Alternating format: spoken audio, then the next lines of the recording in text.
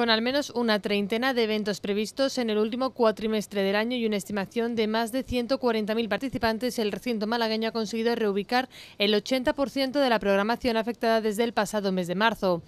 El FICMA recuperará su programación ferial y congresual a partir del próximo mes de septiembre tras la elaboración e implementación de un plan de contingencia específico para garantizar las máximas condiciones de seguridad a sus usuarios. El calendario ferial del Palacio comenzará el próximo día 17 de septiembre con la celebración de AUTEC, Feria de la Asociación Nacional de Operadores de Telecomunicaciones y Servicios de Internet.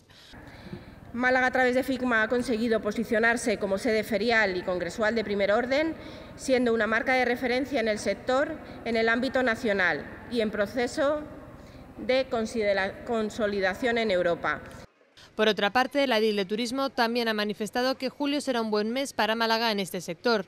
Según los datos facilitados por la concejala, el número de camas disponibles es de 3.500 y hay un 50% de ocupación. Además, ha expuesto que las reservas se están haciendo a última hora y que es complicado saber cuál va a ser la ocupación, pero confía en que agosto será un gran mes para la capital. Las previsiones... Eh, eh, son muy buenas dentro de, la situación especial que, que estamos teniendo, no comparables al año, al verano de 2019, obviamente, pero sí que nos da un indicador de, que el verano eh, bueno, va a ser positivo. No tenemos cifras oficiales, eh, la media que, que, barajamos es en torno al 50% de, ocupación y luego otro indicador que tenemos son el número de vuelos que, cada día se van reincorporando.